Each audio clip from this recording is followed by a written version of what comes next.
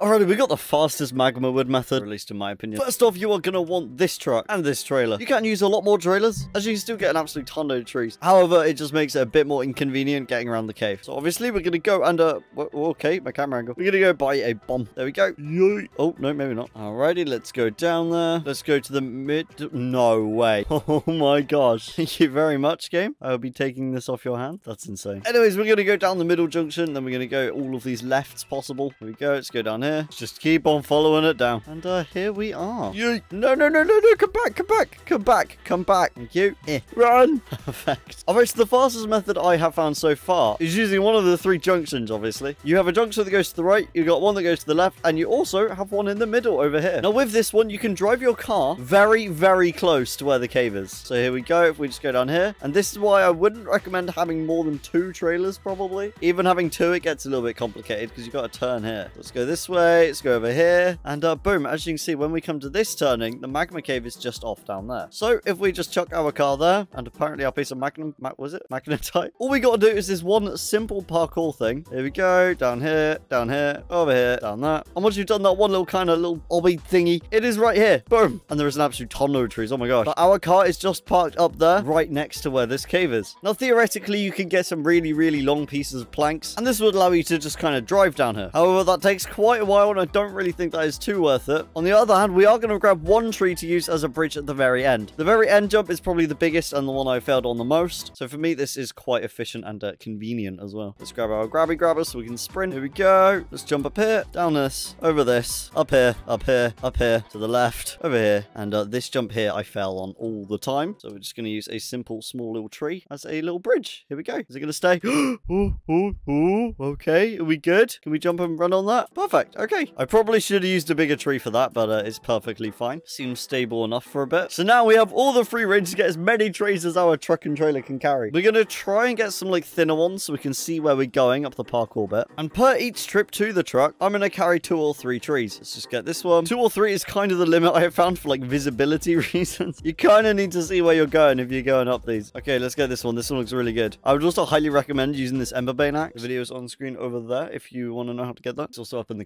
cards. Anyway, enough self-promo done. We're going to grab this. And uh, this is the first three. However, it's only been six minutes and we've got a car down here. We've got a little bridge at the end with a tree. And we've also got three trees that we're carrying up there right now. Let's jump up here, go up here, go up that. Yeet. Use our little bridge over here. Let's try not knock it. There we go. Perfect. And uh, let's just chuck those in here. Okay, perfect. Maybe let's move it up just a little bit. There we go. We can probably get one more in there as well. We've got to make sure that it locks, obviously. Jump on that. Down. Yeet. It's now been a total of seven minutes, and we're going to go get our second load of magma trees. Now, if you don't know, compared to the old map, these trees have had a huge, huge buff. In the old map, they weren't really worth too much, and they weren't really worth getting. However, now they are really, really good. I'm fairly certain they're about 156 per little stud of plank, or at least of sanded. I'm going to plank them, though, just because it makes you get more money from them. All right, here's the second one. These are some bigger ones, so I'm going to try with three, but I cannot guarantee this working. As much as I love the small, thin ones, there's no point going around trying to find them. It's just a waste of time. Might as well try with these bigger ones. Yeah, this is going to be quite difficult. I might just use There we go. Yeah. Keeps getting stuck on the side of the cave. And it's only two. That's why I prefer the smaller ones. Anyways, we're to go do this parkour thing. Oh, gosh. I'm not a fan of this getting stuck everywhere.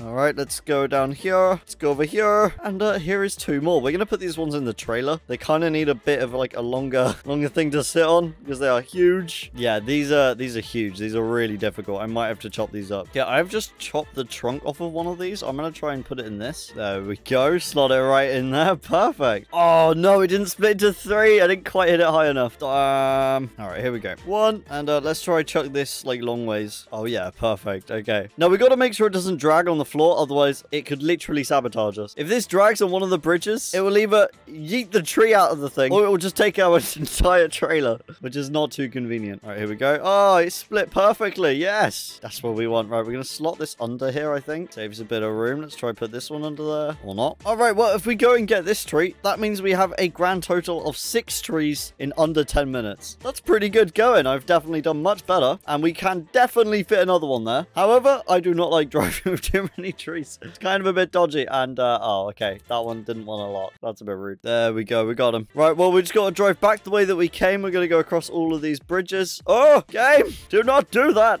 Oh, gosh. Oh, gosh. This game's lagging. Okay, right. We're fine. We're fine. I love the little purple glow. It's kind of funny. Right, let's just continue going. Going. Yeah, there we go. These ones are pretty easy, or at least they were before I failed on them. And uh, we are now out. So we're going to go back this way, where the sand is, obviously. And now we just got to drive out. We kind of just got to hold the right. We just got to go out the way that we came in. Fairly easy. Let's go up here. Now, let's go plank them and get a ton load of money. All right, so we've just hit 10 minutes 30. Now, again, there are probably way better ways of doing this. Oh, that's convenient. Oh, that isn't, though. Oh, no way. There's an electrified tree as well. Magnetite and an electrified tree. This is insane video. now, normally I would park my truck under here. However, I didn't do it this time. I put a skull through it. That's probably going to add on a little bit of time, but oh well. All right, anyways, we're going to have to manually put all this in here now. But it's fine. There's not too, too much, thankfully. There is still more coming out, though, apparently. Oh my gosh. Okay, fine. Maybe there is a little bit. we got some falling out the back. It's still coming. How much of this is there? Seriously, there's more? All right. Well, we are now at 14 minutes and 52 seconds. So in about 15 minutes, this is how much magma wood you can get. Or at least if you do it the exact same way that I do. Anyways, let's sell this and see how much we can get in 15 minutes. 66,000. So on average, can you get 100,000 20 minutes? That's pretty insane.